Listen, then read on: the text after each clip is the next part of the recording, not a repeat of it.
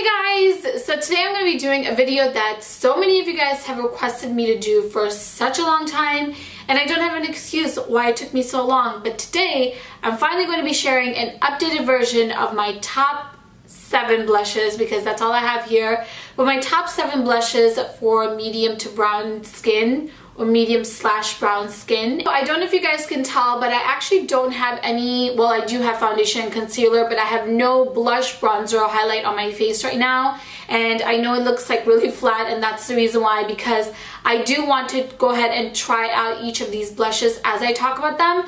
So without further ado, let's just get right into talking about all of my favorite blushes and you guys can see how they actually look on my skin tone as well. Okay, so the first blush that I love so much, and this is actually, I think, my favorite pick from all the ones I'm going to be mentioning today, I think this one is my favorite, which is why I'm just going to talk about it first thing. And this is called Frat Boy from The Balm. And if you guys are looking for a perfect, like literally perfect pinky corally shade that will literally go with any look that you wear, this is the one blush that I recommend. If you're gonna pick up just one blush from this entire video, get this one. It is just so soft and pretty. It's not too intense, not too pigmented, but it's also not like powdery and like not not not pigmented. You know what I mean? Like there's a lot of color, but it's not like over the top. It's just perfection. I literally have to stop myself from using it because it's that pretty and that versatile. And I always have to just tell myself like, Arshia, you have to use some of your other blushes. So I really love the Balm's Frat Boy and highly recommend it. Okay, so my next favorite is from Clinique and this is called their Cheek Pop Blush and this is in the shade Ginger Pop. Now, this is actually supposed to be a flower, but it doesn't even look like a flower anymore. It literally looks like nothing now, but it was a gorgeous flower. But besides the absolutely stunning little packaging here, this blush is beautiful. If you're looking for that warm corally blush, I think this is the way to go. Now I know a lot of you guys who have similar skin tone like me prefer warm colors on your face. If you do, I think you will love this blush. And total side note, I feel like this is a really good blush to pair with Indian outfits. I don't know what it is, but like I think the coral warm undertone just works so well and complements Indian outfits so beautifully. I don't know what it is. Maybe that's just in my head, but I absolutely love this blush. And also, I do find myself using this a lot more in the summertime, um, just when I'm a little bit more tan. So I think this is a blush, again, that will work for all different skin tones, but if you're my skin tone and a little bit darker than me, I think that this would be a really beautiful, flattering blush for your skin tone. So my third favorite is the Benefit Rockateur and I just first of all love their packaging of their blushes and their bronzers. They're this like really cool cardboard box but it's just so durable. Throwing this blush everywhere. I take this anytime I go traveling and literally none of my blushes have ever broken on me. And here is what the actual blush looks like. It's like a, I want to say like a dirty, dusty rose but it has the most incredible sheen. I don't know if you guys will be able to see it, but I definitely see it in person. It has like a beautiful sheen, so it gives your face such a gorgeous glow. Hopefully my camera's like picking up as I move my face, but you do get a gorgeous sheen on the skin, but it's not like too over the top or like chunky glitter. It's just stunning, subtle sheen, which I absolutely love. I do want to call out that I don't know how well this blush will work for anyone that is darker than me. I think this will work best if you're my skin tone and lighter. But if you are darker than me and you use this and love it, definitely let me know in the comments below. That always helps other people out who are watching this video. So, so if you guys have tried this blush, definitely let me know in the comments below or any of the blushes that I'm talking about. Let me know what your feedback is, if you love them or hate them, in the comment section below. So the next blush is actually the newest addition to my collection and I literally fell in love with it the first time I used it. Now this is from LA Girl and this is their new Just Blushing Blush and this is in the shade Just Natural. And when you look at it, I mean literally on my screen it looks white almost so hopefully you can see it a little bit more when I actually go and upload this video but it doesn't look like anything exciting at all. That's basically what my point is. It just looks like a normal ordinary blush. But when you apply it on the cheeks, it is the most beautiful pinky shade ever, like baby pink shade ever with a lot of coral undertones. Actually, you can kind of use my nails as reference because my nails are coral and it does match the, um, you can see like it's the same undertone. So it is a very like pinky coral blush, very affordable, and I found this to be very long lasting as well. It is matte, so again, you're not gonna get that sheen shimmer with this at all, but it is stunning on the skin and I really, really love it.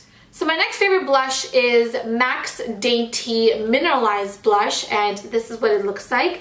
This is the most perfect pink, like Barbie pink, baby pink blush that I think I own.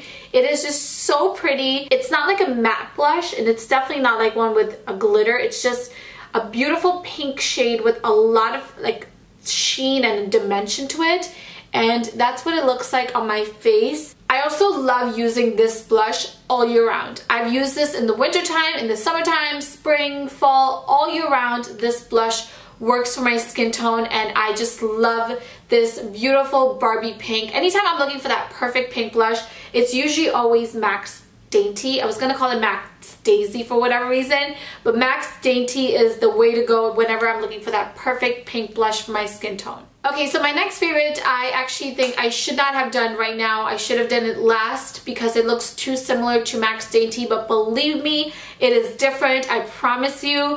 But this is the Tarte Amazonian Clay Blush in the shade Blushing Bride, and I love this blush so much. Again, this is a beautiful, like true pink blush, but this one actually has a lot of purple undertones. This is what it looks like on my skin. It is very pigmented, so you only need a little bit of product. But because this is like that Amazonian clay collection, this is a very long lasting blush. You literally, I almost feel like this stains your cheeks, but not in a bad way. Like it'll come off at the end of the night but you will never have to reapply this blush ever throughout the day. This is definitely a blush that's going to work all across in terms of all different skin tones. Whether you're lighter than me, you're darker than me, this will work for you and it will definitely show up on your skin as well. Okay, we are finally here. We made it to the last blush. Oh my gosh, is that Kobe? Oh, that is Kobe. Wait, I want to see if he wants to come here and hang out with me because I think he just woke up. There he is. you guys, can you believe how big he's gotten? I actually cannot believe how big he's gotten. But he's just gonna chill back there with his little toy. And I'm gonna share my last favorite with you. And this is the Kiss Cosmetics or Kiss New York Ombre Radiance Palette. Now this is what the palette looks like. You do get a bronzer, a blush, and a highlight all in one, which is really, really nice. And it's like this beautiful gradient palette, which I love. And I really love, of course, the blush, but I also really like this highlight as well. It is so pretty on my skin. So right now, I'm of course just wearing this. Oh! Kobe, what happened? oh my god, what was that? You scared me. I think he felt like I wasn't giving him any attention. Okay.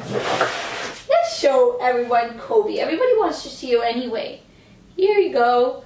This is little Kobe for anyone that doesn't know. I don't know why my camera's not focusing, but he's not so little anymore.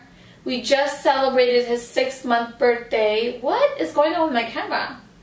But he's so big now. He's about 40 pounds. We're thinking he's going to be around 55, 60 pounds.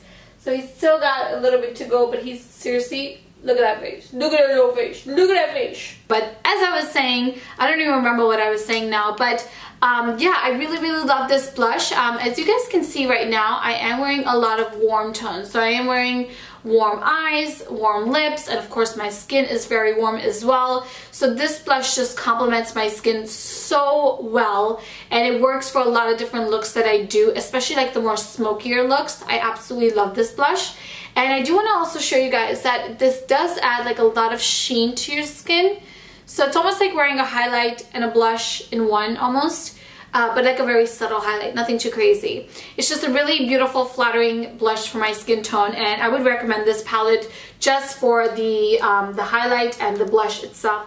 But anyway, that's really it for this video. I really hope you guys enjoyed it and found it useful. If you did, don't forget to give it a big thumbs up. Don't forget to also subscribe to my channel and follow me on all of my social media, and I will talk to you guys in my next video.